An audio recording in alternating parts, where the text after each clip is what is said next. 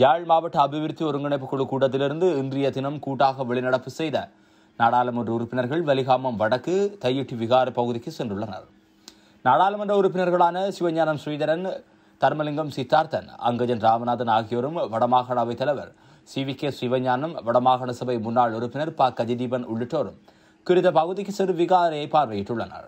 போராட்டத்தில் ஈடுபட்டுள்ள நாடாளுமன்ற உறுப்பினர் செல்வராசா கஜேந்திரன் உள்ளிட்டவர்களுடனும் கலந்துரையாடி போராட்டத்திற்கு இதன்போது வலு சேர்த்துள்ளனர். யாழ் மாவட்ட செயலகத்தில் இன்று ஒருங்கிணைப்பு குழு கூட்டம் இடம்பெற்றது.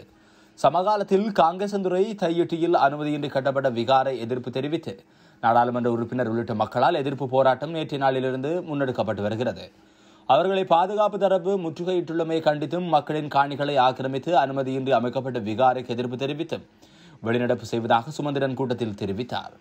இதனையடுத்து சக நாடாளுமன்ற உறுப்பினர்களான சிவஞானம் ஸ்ரீதரன் தர்மலிங்கம் சித்தார்த்தன் அங்கஜன் ராமநாதன் ஆகியோரும் வடமாகாண அவைத் தலைவர் சி வி கே சிவஞானமும் யாழ் மாவட்ட அபிவிருத்தி ஒருங்கிணைப்பு குழு கூட்டத்திலிருந்து வெளிநடப்பு செய்துள்ளனர். வலிவடக்கு தையிட்டி விகாரை அமைந்துள்ள பகுதிக்கு மல்லாகம் நீதவான் காயத்ரி களவிஜயம் மேற்கொண்டு விவரங்களை ஆராய்ந்துள்ளார். இதன்போது குறித்த காணிக்கு முன்னுள்ள தனியார் காணியின் எல்லை பகுதியினுள் எவ்வித குழப்பங்கள் கோஷங்களின்றி அமைதியான முறையில் போராட்டத்தை முன்னெடுக்க முடியும் என நீதவான் காயத்ரி தெரிவித்துள்ளார். அத்தோடு இன்று காலை கைது செய்யப்பட்ட ஐந்து பேருக்கும் பிணை வழங்கப்பட்டுள்ளதாக சட்டத்தரணி சுகாத் இதன்போது தெரிவித்துள்ளார்.